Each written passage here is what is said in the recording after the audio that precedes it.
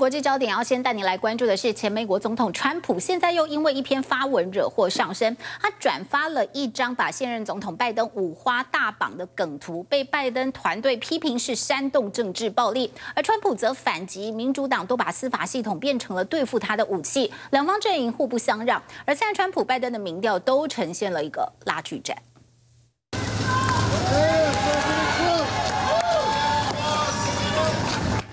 殉职纽约警察告别式一秒变成造势现场。前美国总统川普最近一次公开露面，喊话要为基层远警发声。And we have to stop it. We have to stop it. We have to get back to law and order. We have to do a lot of things differently. 但是川普自己是不是又在踩到法治红线？他转发了把现任总统拜登双手反绑的梗图。这段影片其实是川普支持者开着皮卡啪啪照，把后车厢的照片放大定格一看，居然就是拜登五花大绑的哭手图。乍看之下，就像把人绑了塞进后车厢。糟的是，川普还在自创的社交平台 Truth 上面转发，结果 Trump is regularly inciting political violence, and it's time people take him seriously.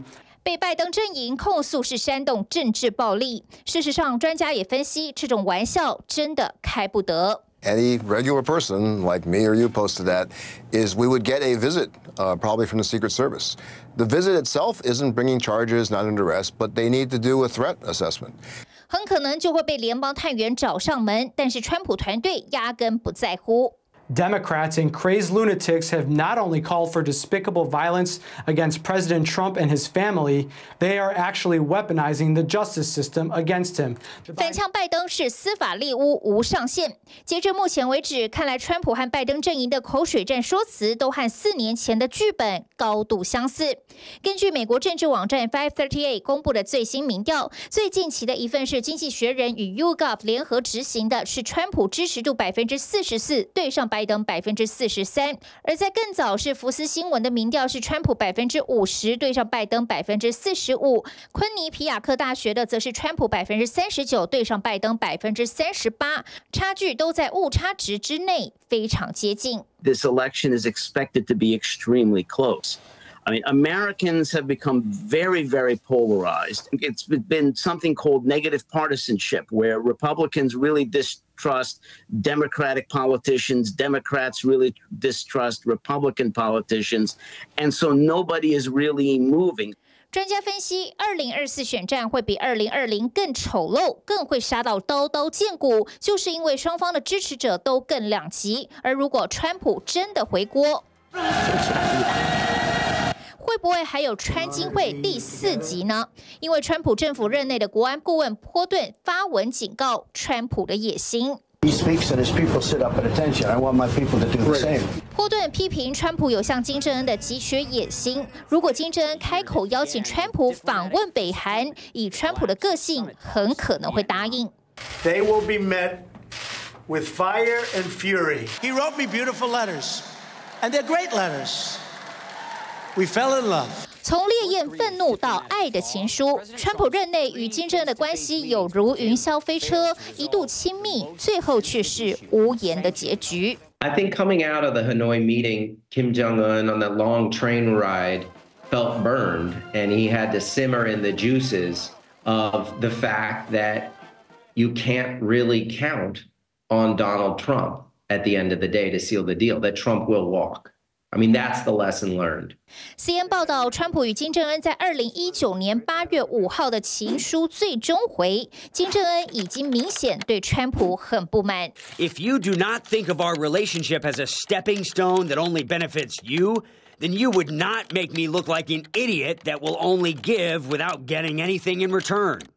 There was always this gap between the seriousness that Kim Jong Un brought into the process versus the theatricality of it for Donald Trump.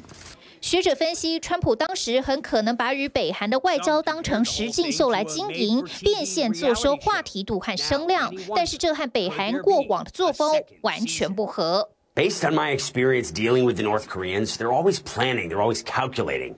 So, in preparing for a potential second Trump administration, North Korea is likely to pursue a dual strategy. 尤其金正恩现在已经巩固了普京这位靠山，更加的不用顾忌美国，可能利用与俄罗斯的结盟当成与美国谈判的筹码。TBS 新闻综合报道。 就继续来看俄罗斯这两个星期以来大举空袭乌克兰重创能源设施。乌克兰最大的民营电力公司供给全国四分之一的电力，如今只剩两成的发电容量。总统泽伦斯基呼吁美国赶快给军援，否则乌军可能会节节败退。偏偏现在俄罗斯总统普京还下令再征兵十五万人。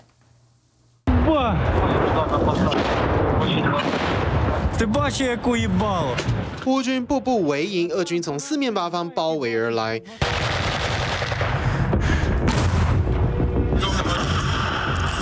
这段画面拍下乌军在东部阿夫迪夫卡外围的村庄，没有壕沟碉堡，只能靠断垣残壁死守下去，还不忘嘲讽敌军。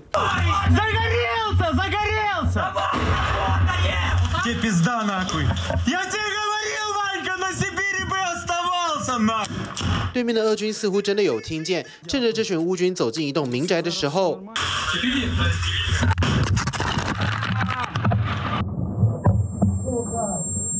一颗手榴弹突然丢进屋内，还好乌军当时没有靠近窗户，没有受伤。现在换乌军反击。这段坚守过程可以看出人力跟弹药匮乏的乌军，只能小规模骚扰牵制俄军的主力。现在乌军恐怕还得面对数量更庞大的敌人。Russia is calling up 150,000 civilians for military service, the country's largest conscription goal since the full-scale invasion of Ukraine. Military officials say conscripts will not be involved in the so-called special military operation in Ukraine, as Russia refers to it. It is a war of 俄罗斯总统普京签署春季征兵令，一口气要征召十五万人，大部分都是十八岁的届龄役男，要服役一年。The Russian strategy of moving as many men as possible to the front that they can. These people are going to be inexperienced. These soldiers are going to be very inexperienced for the most part, and they're going to really be used as cannon fodder. 虽然 CNN 的分析师认为， 俄国新兵顶多就是当炮灰，但是过去对乌军很有信心的他，现在看法。也变得很保守。They have a chance to potentially exploit some of the small gains that they have made in uh, recent weeks. And if those concentrations move forward, if the Russians have organized themselves in such a way that they can exploit the Ukrainian weaknesses, then uh, they, we could see some changes in the territorial uh, map for Ukraine. 言下之意，现在乌军恐怕很难再抵挡俄军的人海战术，因为不只是前线告急，大后方也元气大伤。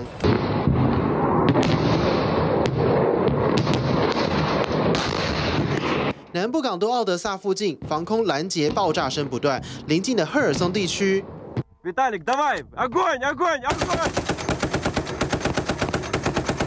俄军的无人机频繁出没，乌军的防空机炮连发都没有打中，只好出动防空飞弹才打下无人机。整个礼拜，乌克兰从南到北，从东到西都传出遭到空袭。俄军目标很明确，就是瘫痪能源设施。Russia has launched multiple attacks last week targeting Ukraine's energy infrastructure, large cities, and the southern area of Kharkiv. 东北大城哈尔科夫就因为能源设施遭到破坏而引发大断电，七十万人无电可用，路上交通号志停摆，地铁也因此关闭。现在居民恐怕得准备面对长期缺电。Ukraine's largest private energy company says 80% of its generating capacity is now offline. 乌克兰最大的民营电力公司供应全国四分之一的民生用电。这两周以来，俄军的空袭让他们旗下六座发电厂毁损了五座，发电容量只剩下百分之二十，要修复得花十八个月。如果电力缺口继续扩大，本来厌战情绪已经高涨的乌克兰人更难支持前线作战。总统泽伦斯基。只好再说重话。若是美国武器援助再不来，乌克兰恐怕真的会节节败退。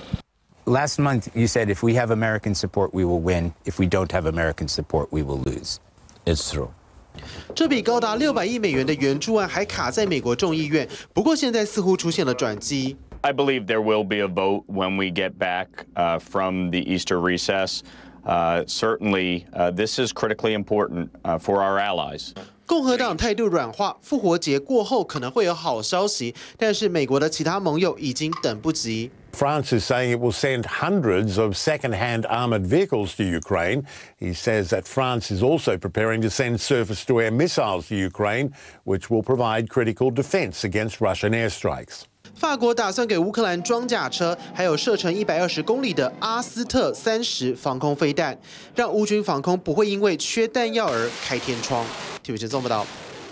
美国军事新闻网站日前指称，美国军事顾问已经常驻我国金门跟澎湖的两栖单位，跟国军部队还定期演训，其中也包括了美军绿扁帽部队的人员。尽管这项消息随后遭到了美国国防部的否认，但是卸任官员接受本台访问的时候指出，在台协助训练的美军人员跟频率确实是更多更广了。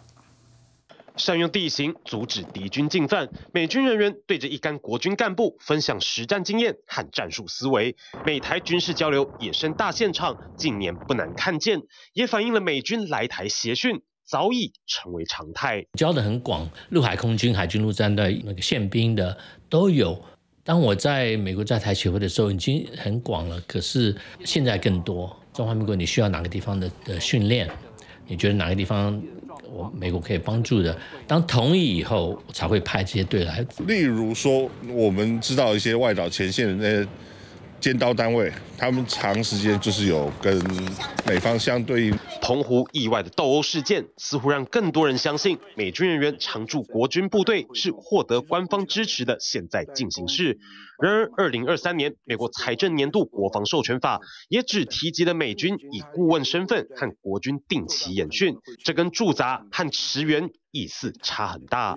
依照已知资讯，美军以 deployment 定义在台的大多都在 AIT 的辖下，绝大多数来台的美军官士兵则是基于互动协训、专家交流等五种目的来台，为期数个月，协助国军成长。那在这五五个交流的呃事项里面呢？以美军的特战部队，它是最早来台湾，也是最适合，也是目前唯一呢，呃，可以到国内来来实施互动协训的单位，因为它部队小，多半是从事呃互动协训。那另一方面就是专家交流，到后来连机部部队、连兵营，呃，甚至于其他的编组，呃，都有这样的潜力可循。曾经参与交流的人员透露，演训部分主要分为小部队来台互动，或是国军编组赴美联合演练。而技术研讨则包括了双边互派专家级人员观摩访问，或是聘请师资来台开班，以及随队观摩操演。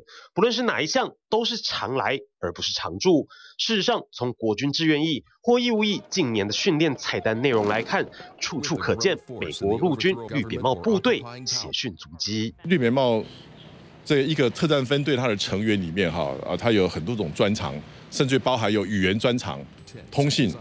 呃，特种武器使用啊，呃，爆破啊，战伤急救的医疗部分啊，还有情报啊，跟作战计划。同时，他们也把他们所获知的这些战场的经验教训，那么跟国军做交换跟分享。而美国印太司令阿基里诺日前再次否认第一线人员常驻台湾，原因未必是切割，因为出差和长期派任之间有太多行政。和法规考量，一个叫做 assignment，就就是呃，你被派过去，通常在六个月以下的都是临时，我们叫 TDY（temporary duty），这些都不是常驻的。要常驻的话，这代表什么？这代表美军事先要跟中华民国联络好，我有这个人来常驻到哪个地方的时候，呃，美军通常会让你带家人，那你家人要住哪里？然后学小孩子要上哪个学校，会有很多东西，然后。中华民国和和美国一定会事先谈好，OK，这个人来台湾，他的驾驶执照能不能用？或者如果他犯法了，是中华民国宪兵抓还是美国人抓？一连串传闻，唯一获得美方证实的是协助评估台湾面对战争的韧性，动作没停过。美军也会看，也会吸收，也会学到中华民国。的基地、机场、海港，万一中华民国需要帮忙，然后美国能够来的话，美国要晓得我能够同时派几架 C 五或 C 十七来，你不能一下十架来就装不下，我也参加十年的汉光是不但评估呃军方的，当然要评估呃中华民国的。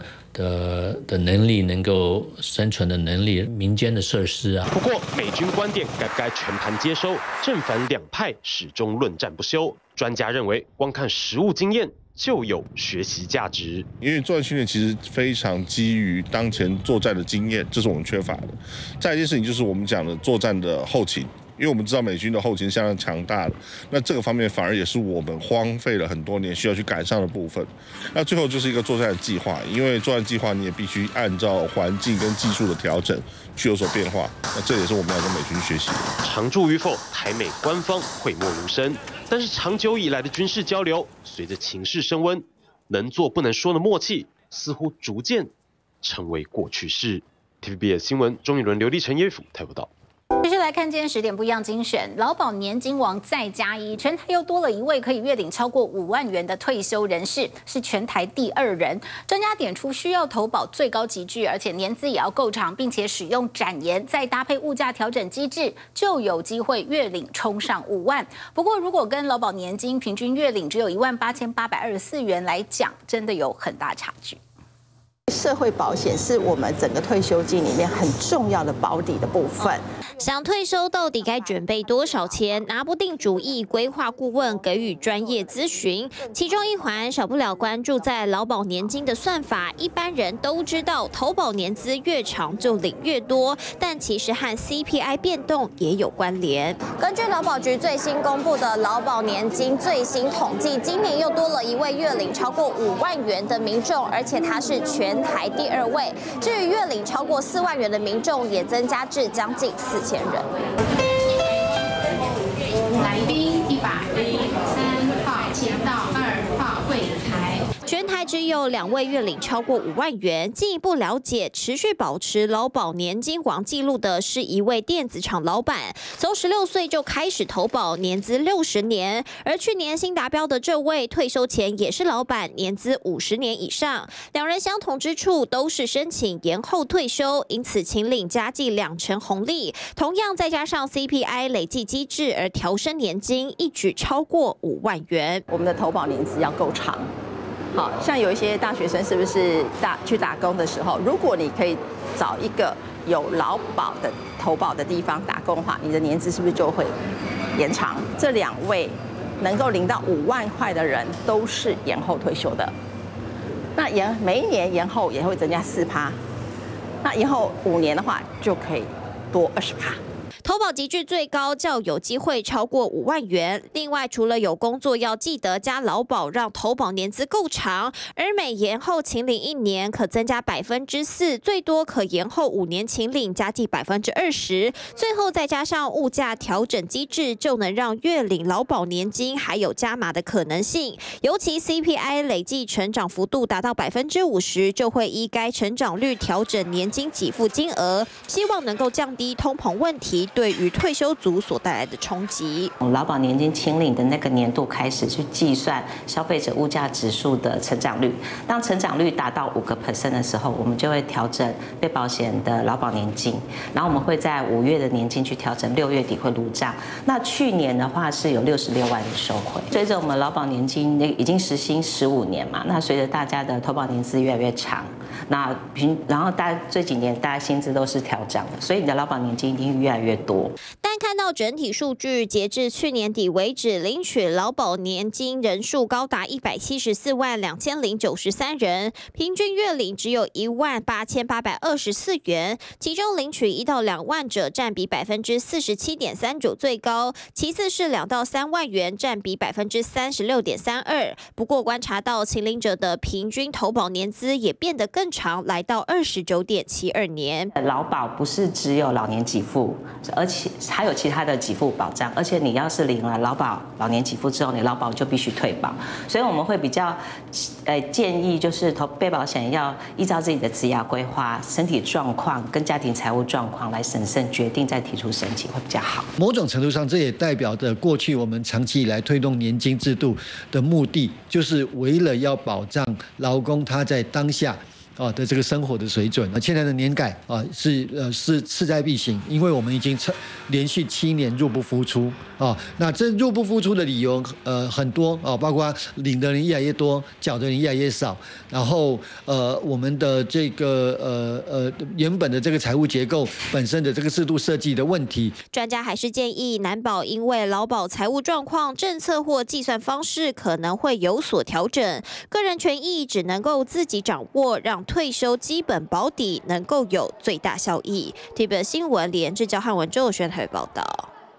缺工浪潮席卷全球，各国都在进行抢人大作战。日本政府的目标呢？他们是从二零一九年开始就推出了特定技能签证，不需要特定学历或实务经验，外籍劳工就能够到日本从事劳动工作。而且从今年开始的五年内，还扩大招募人数，上限到八十万人。这个是我呃日本研究所的入学许可书，法学部政治学科里面的国际政治专攻。即将到日本法政大学就读研究所的张同学，有意愿毕业后直接在日本就职。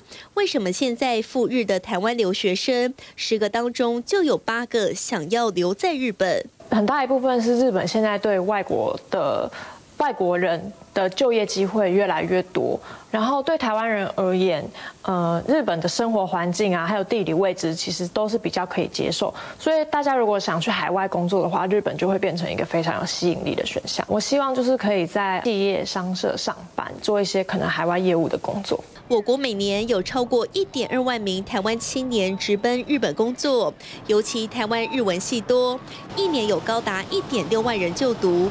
在当地少子化下，充沛的日语人才大大弥补日本人力缺口。现在日文系的同学来讲，在台湾工作已经不是唯一的选择，就是在台湾做，譬如说翻译或者是跟日文相关的业务工作，已经不是唯一的选择。就算没有在日本生活过，直接去日本工作也是一个。呃，非常可行的选择。根据日本智库估算，到二零三零年，日本缺工人数将扩增至六百四十四万人。在剩下不到六年的时间，如何透过政策补足劳动力短缺问题，成日本政府近年来一大挑战。现在不止台湾缺工，日本也缺工严重。因此，日本政府呢就计划从今年开始的五年内，扩大招募拥有特定技能的外国劳工，人数上限至八十万人。自二零一九年，日本政府推出特定技能签证，不需要特定学历或实务经验，就能赴日本从事劳动工作。特定技能一号共十二个领域，十四种行业，包括餐饮、旅宿业、看护、农渔业和航空业等。等可在日本工作五年，若通过后续考试，取得特定技能二号资格，便能带家人到日本定居。而日本政府在今年二月，更将铁路、林业、木材、汽车运输四个产业纳入，也就是未来公车、计程车司机只要具备足够的沟通能力，就可以获取居留权。对于蓝领阶级的这个算是进到日本工作的门槛大幅放宽，过去以来只限定了部分日本。本传统依赖的这些劳动力，现在呢，把这些劳动力扩大到服务业或者其他他们现在必须的领域，比如说呃驾驶，然后日本现在的少子化。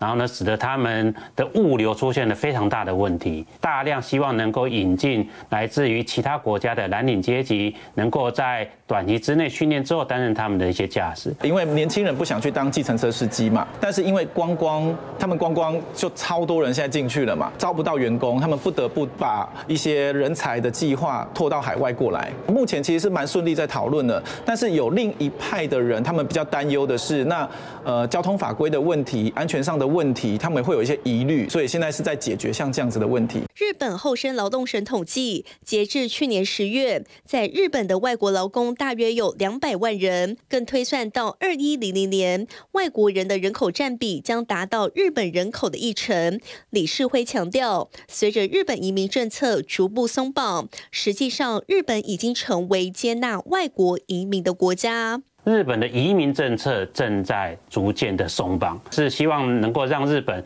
成为一个可以接受移民的社会。那这样的一个能够接受移民的社会，一个多元化的社会，其实对日本的国家发展来讲是有必要的。台湾也必须要关注到其他国家的一些移工政策。或者其他国家的一些签证的规定，然后呢，让台湾成为一个珍贵的劳动力资源愿意来的地方。日本大幅放宽人才政策，台湾未来会不会更没竞争力？政府必须正视人才外流危机，劳动力越来越珍贵，全球进入抢人才大战。TVBS 新闻黄冠伟、刘彦轩台北采访报道。全台还可能有三百万以下的房子吗？来看看。想买个窝，首先都会问这句：三百四十八，算便宜还是贵？算不错不错啊，因为它这边有个前阳台，有些套房是没有阳阳台的，那它这一间一平开三十七万。你真的没听错，确实就是这个价，而且周边类似房型的物件还有更便宜的，几乎只要一拖卖，平均两周就能成交。近来想在七都置产，台中总价准备三百万就能入手。三年前同样这边 卖多少？一百万。现在现在这间开三四八。差了两三倍嘛，对不对？因为我们现在的利息还是很低嘛，啊，所以政政府的政策还是持续在推嘛，所以就是基本上我觉得以都会区来讲啦，就是因为虽然现在是少子化，但是大部分的人还是会往都会区发展，因为像台中就是第二大都会区，然后外来人口会持续进来。其实坦白讲，台中现在这边已经有超过三百万人在这边生活了，然后会集中在蛋黄区，所以这个地方呢，就是会越越挤。很多人会进来。其实像这样的三百万的物件呢，它的屋龄尽管已经来到大约是二十六年，但在整体市场来看呢，还算是蛮新的。以往都是吸引一些投资族来入手，就是因为它周边的生活机能非常方便，有餐厅、卖场，甚至是超商。但是近来价格年年增长，还是吸引小资族或者是单身族群来购入。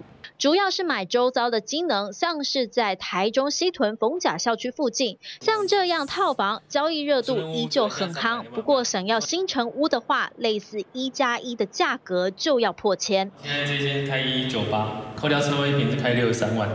那带我们看一下里面。里面大啊。屋龄两年的一手屋，屋主自卖，全幢二十平，只是屋内实际大小隔出小小的储藏室后，主卧、客厅的空间只剩下这样。尽管有个小阳台，短短看出几周，超过三十组客人想入手。两边比较一下，两年当然比二十六年的又美又干净，取向不同，客群就有区隔。其实目前七都来看，排除双北以外，类一房的两百。二十十万到三百万不等，很符合单身族的需求。三房的话，七百到九百万都有不少物件，不过通常就是二十年起跳的房子。像这样套房型的产品啊，它其实一天平均我们算过数据，一天卖掉一点六件，好，一年可以成交将近六百户这样子一房的产品。那因为原本的逢甲大学的学生族群，加上未来水南经贸园区中国一的校区。哦，也在进驻在那里了，所以学生族群我们最近在观察，成交量也越来越大。这种产品，除非是人家整理好的，不然你自己大概都要花个几十万来做整修，这是应该跑不掉的。好，那当然这个回馈到总价上面，你买的价格是漂亮的，可能你就自己要花钱去整理；但你买人家整理完的，可能价格高一些，但是就不用自己整理。这是羊毛还是出在羊身上？纯粹从资料库里面去找，说，哎。啊，有便宜的房子，而并并不是呢，房价太贵，是呢，你年轻人不愿意买便宜的。我觉得这种推断呢都过于武断，因为过去我们在整理资料的时候，就常会发现这样的问题，啊，导引出一个错误的结论出来，因为那些房子。本质上面来讲，它都是不能满足满足是基本生活需求的。以目前来说，尽管台中的人口在过去二零一三年到二零一八年都是正成长，顶多在二零二一年流失约一万人，但接下来平均年成长三点五万，来到两百八十四点六万人。房价是否成为诱因，让人口回流？根据分析，小宅当道符合不少民众需求，但吸引最多的还是临近县市的房东在。拓展自产的地点。你今天要到其他的都市去的话，你的薪资成，你的薪资呢不会太高。的确，过去是有些人呢觉得啊，台北房子那么贵，我不如就搬到乡下去吧。但是呢，有很多时候的状况都是呢，搬过去之后呢，没多久之后呢，又又搬回来。开数据资料库，确实有部分的房子比起双北新城屋价格似乎都有机会入手，但地理位置以及生活习惯不同，真的多出置产机会吗？吸引力还是相对比较小。TVB 的新闻，焦汉文秀伦台中采访报道。来看看在台中停车格有这样子的黑色饼干，功用在哪里？车子倒车准备停路边车格，仔细看格子内有一个小小块黑色圆饼，这是台中的地磁停车系统，小小一块黑色饼干，功能多元。通过手机的 app 呢，你可以查询到现在我在这个路段呢，上面有很多圆点，绿色代表是空位，红色代表已经有停入了。而我现在的位置呢，我们直接来看，这边就有一个黑色的地磁，就是我们俗称的黑色饼干。通过这样的感应装置，能够达到停车的最大效率。黑色饼干其实它是一个地磁的一个感应器，那它其实是透过这个呃微雷达的部分，然后还有一个磁场的一个呃扰动的部分来做一个感测哦，然后来记录这个车辆停入跟驶出停车格的一个动作。那除此之外，它也可以去做到这个停车时间的一个计算的一个功能哦，那可以作为这个停车费的一个计收的一个依据。这小小的智能地磁感应设备又被称为黑色饼干，在全台中三万多个停车格，就有八千多个车格装设这小小黑色饼干。它具有影像辨识功能，还可以运用感测机制，全天候二十四小时回报路边停车资讯，让车位达到无缝接轨的高使用率，同步计算车辆停放时间，整合自动计费与第三方支付功能。驾驶在驶离停车格后的十五分钟，立刻查询到停车费用，朝向实现无人无纸化的开单目标。未来可能是一个智慧化的一个未来的趋势跟方向。那所以我们现在是先透过这个黑色饼干这个地磁，然后将这个资讯传到这个台中交通网的 App，然后让民众可以及时去查到这个停车格位的一个资讯。呃，那你要到这个周呃目的地的周边的时候呢，你可以先去查一下说周边还有多少的停车格位可以使用。那我们的台中交通网 App 更方便的是，如果你找到这个目标车格的时候，你可以直接按导航的部分，然后帮你带到这个停车格位。这个地磁装置可以绑定手机支付 App，随即远端缴款，天真民众便利性。台中市府表示，目标在一百一十九年前，在都市的停车格内要设置共两万一千颗的地磁装置。刚才你们可能到市政路去，大概在这一块。回到交通局内，眼前大荧幕显示出全部的地磁装置资讯，包含停车时间、使用率、三餐时段以及重点路段项目，都可以透过装置及时传回局内。未来目标希望可以预约停车，将智慧化的功能更加人性化。这些区块我们就可以统每天统计它的一些停车周转，一台车停进去会停一小时还是两小时？那是不是可以假设我们要加速它的这个停车周转率，可能我们就可以透过像把这个费率调整。啊，这个供需问题嘛，价格变高一点点，民众的需求就会下降，或是就会改变，所以这一块就会你必须呃经过这些所谓电子化方式哦，把我们路边的停车格先把它资讯。呃，这个及时掌握资讯的完备，包含每一个车格使用。台中市府创新便民规划，具有环保永续意念，改善当地空气，减少环境碳排，同步降低了公部门行政上许多的人力负担。